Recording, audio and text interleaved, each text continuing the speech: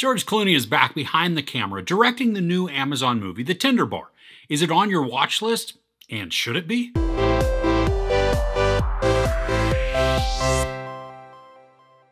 A boy growing up on Long Island seeks out father figures among the patrons at his uncle's bar. So the story follows a young boy named JR who goes with his mom to live at her parents' home where her brother Charlie also happens to live. Now Charlie owns a bar and takes JR under his wing to instill some wisdom and guidance in the young boy's life. This memoir shows us what life was like for JR and how it shaped him into the writer that he will eventually become. Ben Affleck is tremendous in this. He's effortless in his delivery, playing sort of an everyman, but exactly the man that young JR needs in his life. He's friend, mentor, surrogate father, and he guides JR through many milestones as he becomes a man. Now, sure, he's a bit antiquated when it comes to today's standards, but for the time, he was a role model of support and encouragement. I also love how subtly intelligent he is.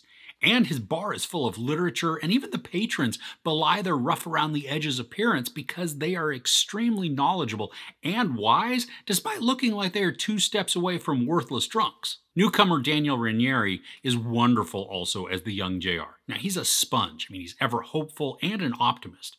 We can see how his heart will be broken time and again, but his resilience is just great to watch. And Ranieri is extremely emotive and even inquisitive with his facial expressions, continually drawing me in and making me root for him. Tye Sheridan plays the older JR, and he does a good job of continuing that longing and hopefulness that was established by Ranieri.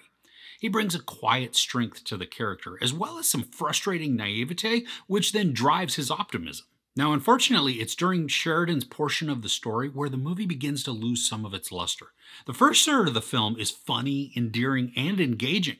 The second third retains some of the charm, but begins to wane in how engaging it actually is.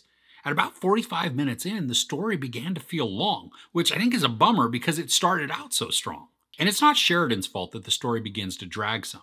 It feels like we're getting so much forward momentum with the younger JR as he is being taught all kinds of life lessons through experience and by his Uncle Charlie. When the story gets to JR being in college, we're seeing less forward momentum, even though we're still being shown character growth. And I would prefer the pace of the second act of the story to just be a bit quicker and move along faster. And while the events JR experiences can be engaging, not all of them needed the repeated focus that they got. At an hour and 46 minutes, I felt the time, making it seem much longer than it actually was. Lily Rabe and Christopher Lloyd co star in this, and while Lloyd has a moment or two to shine, he's also put into the background to be some eccentric, crazy old guy that just works with varying effectiveness. Rabe is great at creating the strong and determined mom of JR. She's convincing in her role, always just pushing her son to be his best in order to escape the life that she finds herself in. There's a warmth that she brings that's wonderful to watch, but she's also got some snark to her, which is pretty funny, and that comes out especially when she's dealing with her dad. The soundtrack in this is amazing. The songs not only capture the era of the early 70s and into the mid 80s, but they also help to shape the tone of the story as well. They're upbeat at the right times and then dip into melancholy when appropriate. Now, in contrast to the amazing soundtrack, some of the cinematography is less than awesome. I mean, some of it looks great, especially as it captures small moments in the faces of our characters, but there are some very odd camera zooms that are executed more prominently in the second half of the film.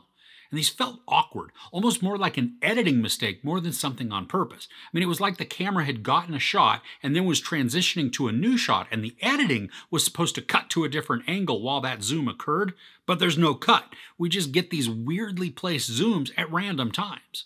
And even though the pace of the film was uneven, with the latter portion dragging more than it should, and then the odd choice of cinematography and the editing choices, I was still invested in the story. I was rooting for JR the entire way through. Even when he had setbacks or seemed like he had lost his way, the story continually drew me in, keeping me invested in his outcome. And as much as I did enjoy the narrative and the performances, I don't think this is one that I'm going to be rewatching anytime soon.